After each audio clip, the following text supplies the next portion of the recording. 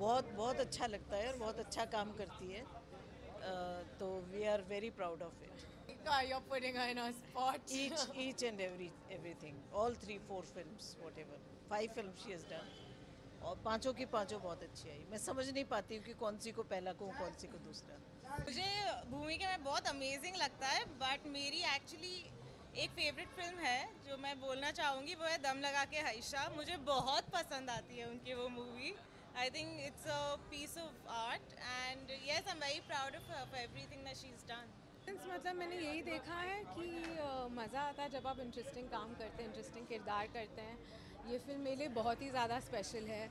I think Taapsee and for me both we have never played मतलब हम literally double आ as ऐसे किरदार play कर रहे हैं जिन्होंने एक इतनी इंस्पायरिंग स्टोरी छोड़ी है हिंदुस्तान के लिए, उन्होंने एक लेगेसी छोड़ी है, उन्होंने लिटरली अपने इकोसिस्टम को चेंज किया तो इस फ़िल्म में एक बहुत बड़ा चैलेंज था definitely but I think challenge से ज़्यादा रिस्पॉन्सिबिलिटी थी कि हम रिस्पॉन्सिबली और बहुत प्यार से इन दोनों दादियों की कहानी बता पाए एंड बहुत मज़ा आया। It's very very very close to me जी, जहन में आता है कि आई होप मेरे डायरेक्टर खुश है हमारी लुक से और हमारे काम से।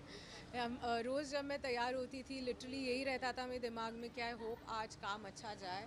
बहुत ही चैलेंजिंग फ़िल्म है, जैसा मैंने पहले भी कहा। तो इस फ़िल्म में ऑर्डनरी अमाउंट ऑफ़ वर्क नहीं हो सकता था। We both had to go like beyond और बहुत ज़्यादा एक्साइटमेंट होती थी कि आज हम दिन में क्या करेंगे। बहुत अच्छा रहा यार, सबके साथ काम करके इतना मज़ा आया।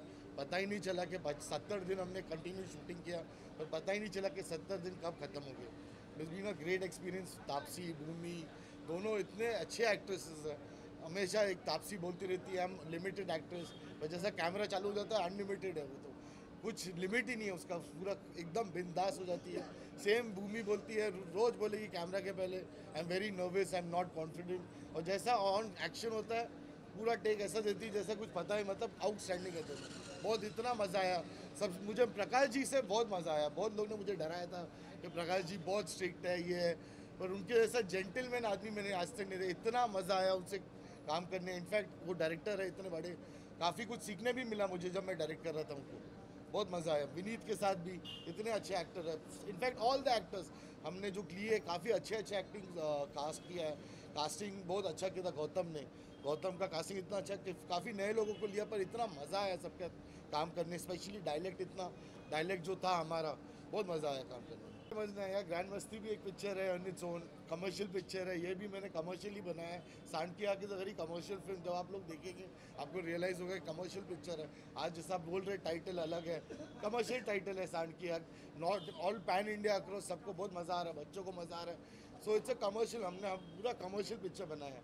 मैं हमेशा कमर्शियल फ़िल्म ही लिखता आया हूँ और कमर्शियल फ़िल्म ही बनाऊँगा। तो ये भी कमर्शियल फ़िल्म ही है। ऐसा कुछ हाँ रियलिस्टिक है because it's a biopic but the way we have treated this film we made it like full commercial film whether its music casting dialogues everything मतलब मुझे भी ये सुनने में आया कि ऐसा जो अपेरेंटली जो एक्टर्स ज़्यादा इस एज के करीब थे उन लोगों को नहीं करना था। आ, तो मतलब ये मुझे अभी पता चला जब ये बात उठी कि सेम एज के लोगों ने क्यों नहीं किया यंगर लड़कियों को क्यों लेना था? मेरा तो आर्गूमेंट ये था कि आप लोग मुझसे तब तो नहीं पूछा जब आपने मैं तीस साल की हूँ और मैं कॉलेज का कैरेक्टर करती हूँ, तब तो नहीं पूछता कोई कि आप कॉलेज कॉलेज के बच्चों को क्यों नहीं लेते? कॉलेज का रोल करने के लिए बड़े लोगों को क्यों लेते हैं? पचास पचास साल की उम्र में लोग कॉलेज का रोल करते हैं, तब तो सब ठीक रहता है। बट अब अगर कम उम्र के लोग, ज़्यादा उम्र के लोगों का रोल करें तो उसमें लोगों को क्यों आपत्ति आती है मुझे समझ में नहीं आता बट चलो ये इसके लिए मतलब मेरा तो रीज़न ये था but I got to know from the producers later on that actually a lot of other actresses who are closer to that age had refuse to do the film नहीं मैं तो गई थी ये पिक्चर करने आगे से। मैं तो मैं तो ढूंढती हुई गई थी कि मुझे uh, एक ऐसी पिक्चर चाहिए जिसके अंदर दो हीरोइनें हों या इस तरह का चैलेंजिंग कुछ रोल हो जो मैंने अभी तक किया ना हो। और ये जब सुनाई uh, मुझे सुनने को मिला तो मैंने तो एक मिनट में हाँ कर दी थी। थिंक ये I think Dev really spoiled me This is not done. This is not done. This is meet my producer, Nidhi. Where's the director? I don't know. He's absconding. Even I'm trying to find him. हाँ, so yeah, I mean हमारा हमारा बहुत अच्छा experience है इसलिए party हो रही है कि we have finally gotten done with it happily हम सारे मिलेंगे पिक्चर खत्म होने के बाद क्योंकि बहुत अच्छा एक्सपीरियंस फ़िल्म पे हर काम पे मैं तो सारा दिन काम करता हूँ रोज काम करता हूँ छब्बीस साल हो गए काम करते करते मैं तो रुका ही नहीं हूँ आज तक अभी तक काम मिल रहा है आपको कितना अच्छी बात है कितनी मैं तो हर दिन काम किया छब्बीस साल। चल रहे है चल रहे है चल रहे है बताएँगे नेटफ्लिक्स वाले बताएँगे। उनके ऊपर है बताना मेरे हाथ में नहीं है। कॉन्ट्रैक्ट जो है मेरा उनके साथ है वो बताएँगे।